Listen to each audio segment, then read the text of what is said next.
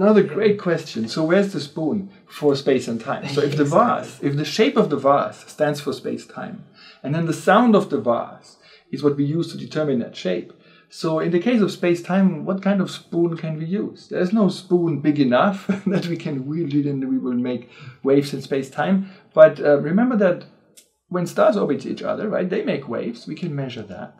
But even apart from that, if you remember from what I said uh, a while uh, back, what we've one of the things, one of the deep insights we've learned from quantum theory is that at the subatomic level, things are always a little noisy. They're always fluctuating. There's always some some wiggling around going on, which means that space-time is always a little wobbly. It's always a little bit vibrating anyway. We don't actually need a spoon because of quantum effects. It's always vibrating a little bit.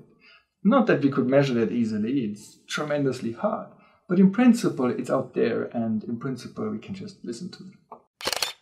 Very good question. Um, no, in general, we wouldn't. Of course, you could imagine that you can tell whether something's made out of wood or whether it's made out of ceramic or glass, right? You can tell that by ear. But in general, no, we can't really calculate that. You would have to to use our methods, you really have to know beforehand what the object is made of. So, for example, you know, you need to know the elastic properties if it's glass or if it's a metal. You can go out and measure that, and we need that for our calculations. But remember that we didn't really do this for the purpose of finding out the shapes of vases. We did it for space-time. And we know what space-time is made out of. Well, it's made out not of glass or metal, it's made out of just space and time. But the point is that just like we can measure the elastic properties of metal or the elastic properties of glass, we can also measure the elastic properties of space and time itself. Space time can have curvature, and um, that curvature is uh, an elastic response. You may wonder, well, how do you measure that? Well, you can measure that by looking out into the sky. When, for example, two stars orbit each other, and in fact that occurs all the time, lots of the stars that you see out in the sky are really several stars that orbit each other. Sometimes it's two, sometimes it's three stars that orbit each other. And when stars orbit each other, it's like two ducks in a pond. They orbit each other while making lots of waves.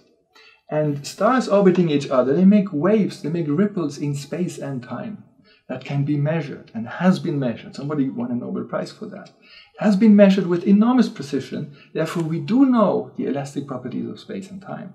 And therefore, th- this vase, space and time vase, well, we know what its elastic properties are. Well, in the case of, um, of vases, um, we, we, we measure the sound of it, let's say with a microphone, and then um, you can decompose that sound into its component frequencies. In music, it would be called the overtones.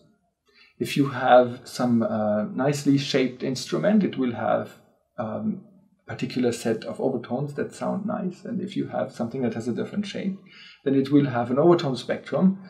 Um, particular frequencies that occur that don't sound so nice. But in any case, this is what makes up the sound, the, um, the so-called overtones. And for, um, for space and time, very hard to measure the quantum noise um, of space and time. And so far, you know, we are trying, but this hasn't been achieved yet. But in principle, we would do the same thing. We would measure the frequency spectrum, and from that, determine then what the over, uh, what the overtones are.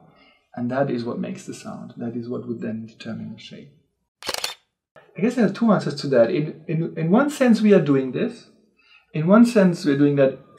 Um, we can measure the curvature of space time using telescopes.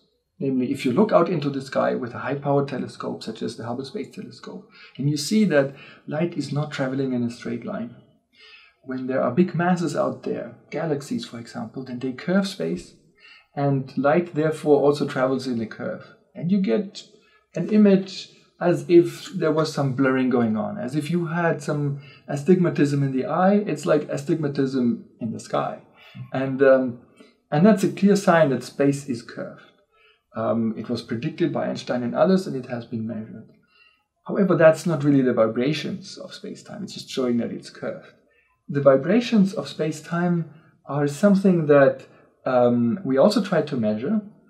And in fact, the vibrations of space-time are thought to have been the greatest just very briefly after the Big Bang, during a phase of so-called inflation.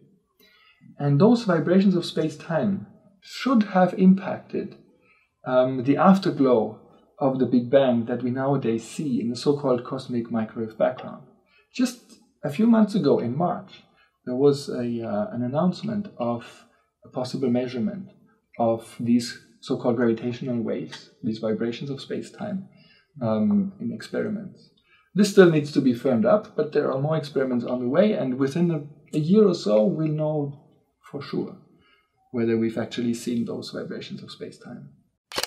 Mathematically, you can describe a vase and its shape without thinking of it as being embedded in a three-dimensional space. You could think of the same vase as living in a five-dimensional space or a ten-dimensional space. The vase itself is a two-dimensional thing. So the surface of the vase is just a surface.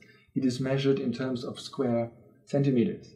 I not see. in terms of I volume, right? Okay, yeah. So, so it's fundamentally a two-dimensional thing, even though yeah. it lives in three dimensions. Yeah. The vase itself just this thin layer of it, the glass of it itself, that we would consider mathematically as a two-dimensional object. All right. But you're right, it lives, of course, in three dimensions.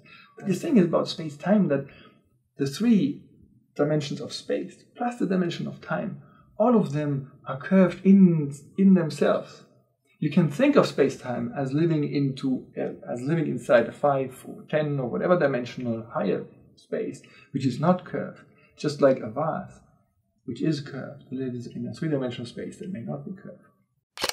And we can't do everything just on a pen and paper. And for yeah. a lot of the calculations, in particular, if you really want to get shape from sound, mm-hmm. um, you actually need a computer for that. And it just has to grind the numbers numerically. Good thing we don't have to do that by hand. Oh, yeah.